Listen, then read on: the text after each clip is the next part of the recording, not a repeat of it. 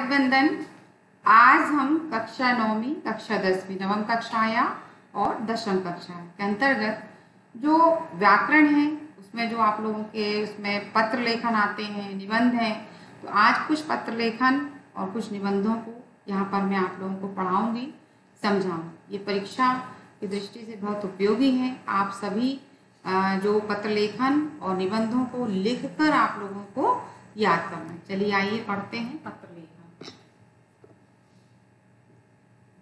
जैसे कि आप देख रहे हैं पत्र लेखन सबसे पहला जो पत्र लेखन है वह है अवकाशार्थम प्रार्थना पत्र यानी अवकाश के लिए प्रार्थना पत्र। ये आपको संस्कृत में ही पूरा लिखना होगा इसलिए आप इसको बहुत अच्छे से बहुत एक एक शब्द को लिख करके आप परीक्षा के लिए तैयार करेंगे।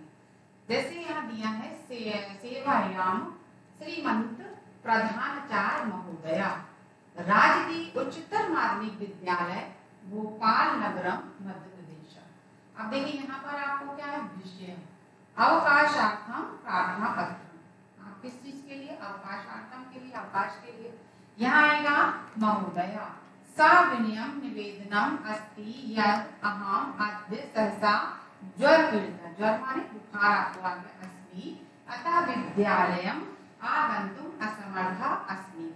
कृपया मम पंच दिवसानाम पाँच दिन का यानी पंच दिनांक से नव दिनांक पर्यंतम अवकाश अवकाशम स्वी कुर्वन्तु। यानी आप स्वीकार कीजिए मैं इतने दिन पाँच दिनांक से नव दिनांक तक जो शाला में नहीं आ पाऊँगी ठीक है? तो आप मुझे छुट्टी देने की कृपा करें, भगवदीय शिष्या। सार्थक भारत या जो भी आप उसमें नाम लिखें, फिर कक्षा जो है आपकी।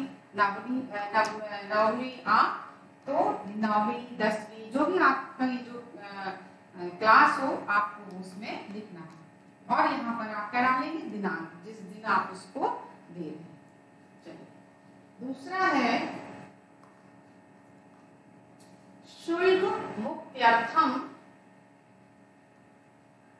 शुल्क मुक्त्यर्थम प्रार्थना शुल्क मुक्ति के लिए प्रार्थना अब इसमें क्या करना है? शुल्क। जो लगता है शाला शुल्क, उसकी मुक्ति के लिए प्रार्थना जैसे सेवायाम श्रीमंता महोदय, ये भी आप इसको है महोदय को। राजकीय उच्चतर माध्यमिक विद्यालय, ठीक है, जबलपुर नगरम मध्य प्रदेश। क्या आएगा महोदय?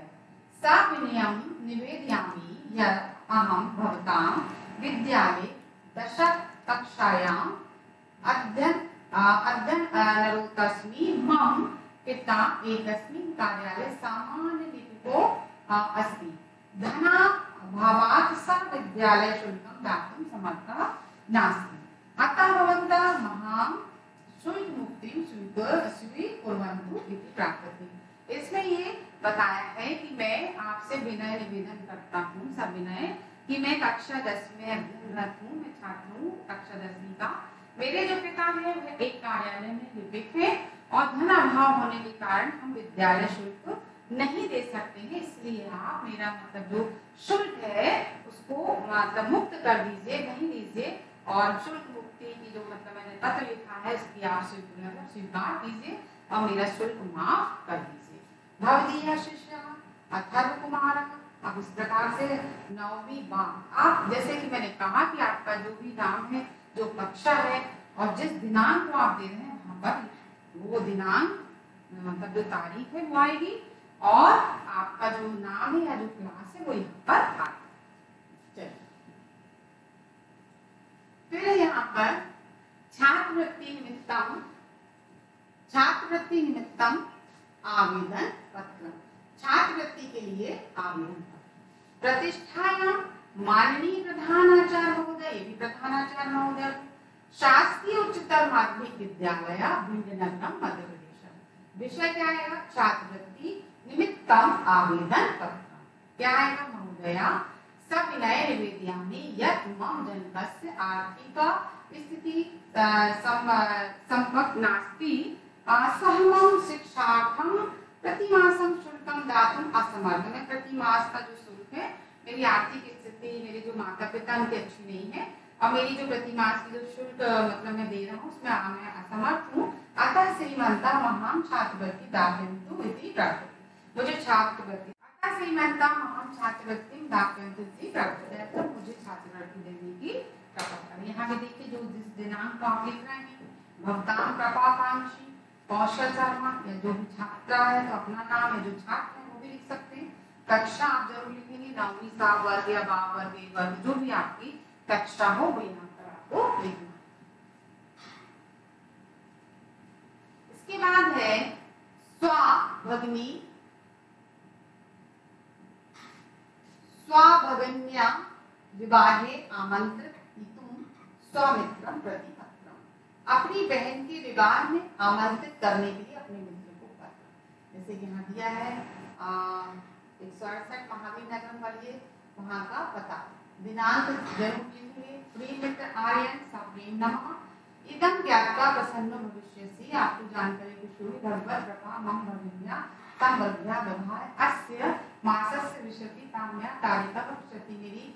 भगवान की कृपा से मेरी जो बहन का विवाह है, वो बीस तारीख को होना सुनिश्चित हुआ है। अहम स्वाम सादर आमंत्रित मतलब मैं आपको सादर आमंत्रित कर रहा हूँ। अतः भगवान सपरिवार समागत विवाह उत्सव आप लोग सपरिवार हमारे यहाँ के विवाह उत्सव में भाग मतलब ले या उसको स्वीकार करें और आए कार्यक्रम बीस, दस दिया है, जो भी आपका जो कार्यक्रम होगा उस समय तो उसमें लिखना पड़ेगा। सोमवार से सायं समय यात्रा स्वागतम प्रीति भोजन चा जो बारात और निकलेगी और स्वागत, सम्मान प्रीति भोज होगा। और इस तारीख को मंगलवार से तो प्रातः पंच, जो भी तारीख है है ना पंचवाद में समृद्धा पति हम इसके बाद है अपने वहाँ चली जाएँगे। तो भवदीय मित्र सार्थक इस प्रकार से आप ये अपनी बहन के विवाह में आमंत्रित करने के लिए अपने मित्र को पत्र अब यहाँ से देखिए आता है यहाँ पर निबंध। क्या आएँगे यहाँ पर? निबंध। तो ये निबंध दिया हुआ है। सबसे पहला है उद्यान। मम गृहसमीपम एक उद्यान अस्ति उद्यान हरितमा विलोक जना प्रमुखा भवंती हमारे घर के सामने एक बहुत अच्छा बगीचा है उद्यान है जहाँ पर सभी मतलब जो उद्यान है बहुत हरी हरी मतलब जो झाड़ पेड़ उनको देख करके सभी लोग बहुत प्रसन्न होते हैं। अतः बहुआ वृक्ष बहुत सारे वृक्ष हैं। सर्व वृक्ष पंक्तिबद्ध रूप में स्थापिता संति। सारे वृक्ष एक लाइन से पंक्तिबद्ध लगे हुए हैं जो बहुत अच्छे हैं। वृक्षा छाया वृक्ष की जो छाया है, उसमें जो लोग हैं, जन है, वो सब विश्राम करते हैं। तेसु नाना प्रकार पुष्पाणी फलानी चलित उसमें विभिन्न प्रकार के पुष्प और फल वगैरह सब लगे रहते हैं। जना वृक्षा नाम फलानी आभक्षंती और जो जल है मतलब जो लोग हैं वहाँ उसके जो वृक्ष के में जो फल होते हैं उनको खाते हैं।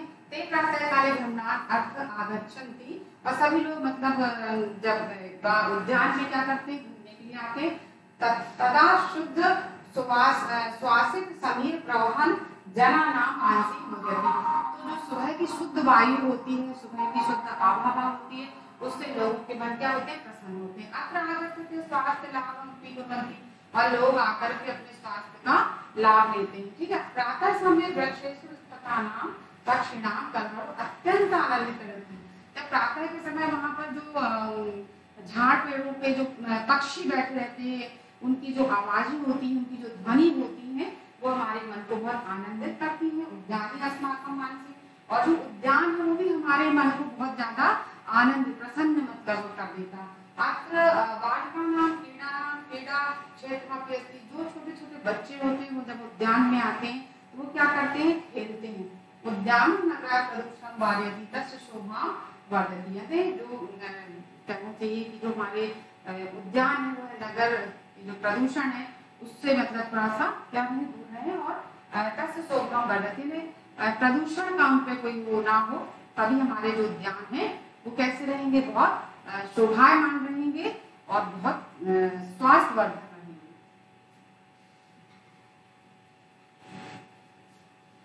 फिर है यहाँ पर धैनु क्या आएगा धैनु का निबंध है एषा मम धेनु अस्य चत्वारः पदा द्वे श्रृंगे एकम लांगुम च अस्ति जो धेनु है हमारे। उसके चार पैर हैं, दो सींग हैं, एक उसकी पूंछ है।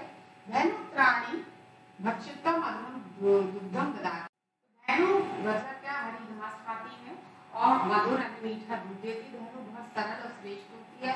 अस्य वस्ता बलिवर्धनवती जो धेनु के बछड़े होते हैं। बड़े होकर के बैल बनते हैं, जो कृषि वाला नाम करते उपयोगी नाम भवंती कृषि कार्य में काम आते हैं। प्राचीन काल के धेनु अस्माकम प्राचीन काल से ही हमारे जो धेनु है।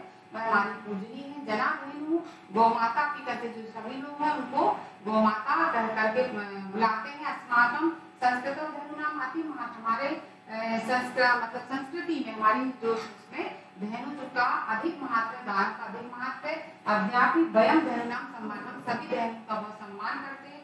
धेनु वयम यदि भूमि उर्वरा शक्ति स्वदना जायते जो धेनु का जो मतलब जो गोबर है जो ईंधन उससे मतलब जो है, ईंधन के भी काम आता है, जो कंडे वगैरह बनाए जाते हैं गोबर से ना? और वो जो है धेनु का जो गोबर है, भूमि की उर्वरा शक्ति को क्या करता है? बहुत उपजाऊ बनाता है। अस्याम दुग्धम पेटवा जहाँ परिपुष्ट होती जब धेनु का दूध गाय का दूध पीते हैं तो जो लोग होते हैं, वो बहुत हष्टपुष्ट होते हैं। और बाल्यकाल के मनुष्य अस्या दुग्धम प्रति एवं आश्रित मतलब जो छोटे छोटे बच्चे होते हैं, वो तो सभी दूध पे ही आश्रित होते हैं। अस्या दुग्धम अति उपयोगी जो गाय का दूध होता है, बहुत ज़्यादा उपयोगी होता है। धेनु दही तक्रम उससे धेनु का के दूध से दही, मठा, मक्खन, घी, सभी मतलब उसका निर्माण किया था भारतीय संस्कृत धेनु नाम महत्व अधिक अस्ति बहुत ज़्यादा अधिक भारतीय संस्कृति में गाय का महत्व। अतः उत्तम से मात्रा इसलिए कहा भी गया है कि जो गाय है, वो विश्व की क्या है? सारे विश्व की माता है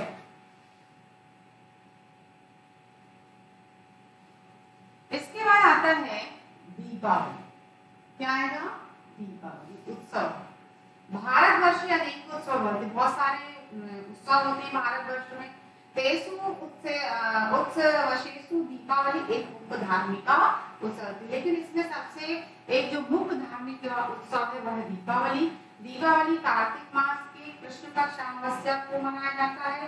मनुष्य ग्रहणानी सुबह अंगनंगों में सभी मनुष्य अपने घर को अपने आँगन को मतलब साफ़ करते हैं और जो गृहिणी होती है वो आँगन को मतलब गोबर से लीपती है, जो जना रात्र पहले वार्तिता भी पूर्णा दीपांतर और बाती से तेल मतलब दियों को भर करके तेल से और बाती से दीप को प्रज्वलित करते हैं। फिर हम देव देव देव्या, लक्ष्म्या लक्ष्म्या पूजना कुर्वन्ति और धन के देवता और लक्ष्मी की पूजा की जाती दीप नगरम प्रकाशित, जब दीप जलते तो पूरा नगर जो प्रकाशित हो जाता है, बाला बहु प्रकार स्फोट कई मनोविनोदन जो छोटे छोटे बच्चे होते बहुत प्रकार के पटाखे जो है वह फोड़ते हैं, दीपावली समय, वाणी अपने स्वाद आपना बहुत सजती और जब दीपावली का समय होता है तो आपने देखा होगा कि जो व्यापारी वर्ग होता है, वो भी अपने अपनी दुकानों को मतलब जो है बहुत सजाते हैं ना बाज़ार में। तो वो विद्युत दीप का नाम प्रकाशन आपने निरंतर और जो लाइटें होती हैं मतलब जो विद्युत लाइटें होती हैं उसकी जो प्रकाश होती है बाज़ार क्या होता है, निरंतर में बहुत अच्छा शोभायमान होता है। नाना विधानी वस्तुनि प्रविख्यात प्रसारितानि भवन्ति। और विभिन्न प्रकार की वस्तुएँ मतलब जो लोग खरीदते हैं, बेचते हैं। अयम काला नाप्य नाप्य शीतो भवति तेन मुदन्ते सिंहस्य नरः आया मतलब ये जो दीपावली का समय होता है उस समय ना बहुत ज़्यादा ठंड होती है ना बहुत ज़्यादा गर्मी होती है तो मुदरते और सभी मतलब इस महोत्सव में बढ़ चढ़ के भाग लेते हैं चाहे सब प्रसन्न होते हैं चाहे वो न, हो या ना इसके बाद आता है सदाचार। क्या आता है? सदाचार। आचार परम धर्म आचार से महत्व आचार से आचरण अस्माकं भारतीय संस्कृति आचार प्रधान अस्ति। हमारी भारतीय संस्कृति में जो आचरण है वो, वो प्रधान होते हैं। आचार दुर्योधि भ्रमति एक होता है दुराचार और दूसरा होता सदाचार। ये दो प्रकार के होते हैं। एक होता सदाचार एक होता दुराचार। सताम आचार सदाचार जो अच्छे आचरण होते हैं वही सदाचार कहलाते हैं। सज्जना विद्वान सोचा यथा आचरती तथा आचरण सदाचार भवति। जो सज्जन लोग होते हैं वो विद्वानों की मतलब जैसा मतलब रहते हैं उनके वो आचरण करते हैं तो इसीलिए वो सदाचार होते हैं। सज्जना